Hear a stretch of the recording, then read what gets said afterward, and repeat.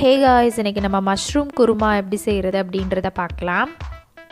ஒரு கடாயில் எண்ணெய் ஊற்றி எண்ணெய் சூடானதும் கொஞ்சமாக சோம்பு ஒரு ஏலக்காய் ரெண்டு கிராம்பு சின்ன துண்டளவு பட்டை ஒரு பிரிஞ்சி இலை சேர்த்து பொரிய விடுங்க. கூடவே கொஞ்சமாக கருவேப்பிலையும் சேர்த்து பொரிய விடுங்க. இது கூடவே ஒரு வெங்காயம் சேர்த்து வதக்கிக்கோங்க.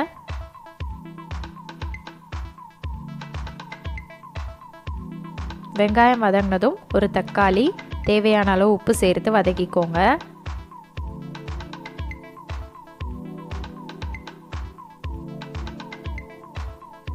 வெங்காயம் தக்காளி எல்லாம் வதங்கினதும் மஷ்ரூமை நல்லா க்ளீன் பண்ணிவிட்டு அதை கட் பண்ணி இது கூடவே சேர்த்துக்கோங்க. இப்போது இதை கலந்து விட்டுறலாம்.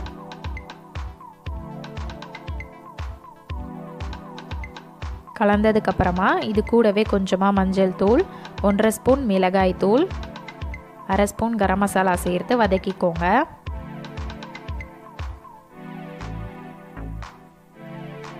இது வதங்குறதுக்குள்ளே நம்ம ஒரு பேஸ்ட்டும் ரெடி பண்ணிக்கலாம்.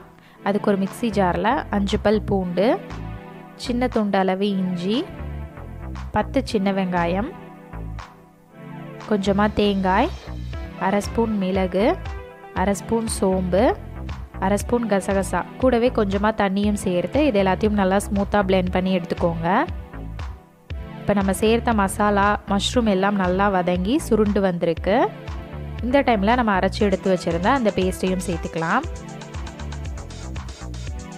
கூடவே குருமாக்கு தேவையான அளவு தண்ணி சேர்த்துக்கோங்க. இப்போ இதை கலந்து விட்டு மூடி வச்சு ஒரு பத்து நிமிஷம் ஹை ஃப்ளேம்லேயும் பத்து நிமிஷம் மீடியம் ஃப்ளேம்லேயும் வச்சு இதை நல்லா கொதிக்க விட்டுறலாம். இப்போ குருமா நல்லா கொதிச்சு சூப்பராக ரெடி ஆகிடுச்சு. கடைசியாக இதில் கொஞ்சமாக கொத்தமல்லி சேர்த்துக்கோங்க. அவ்வளோதான் நம்மளோட சூப்பரான மஷ்ரூம் குருமா அருமையாக ரெடி ஆகிடுச்சு.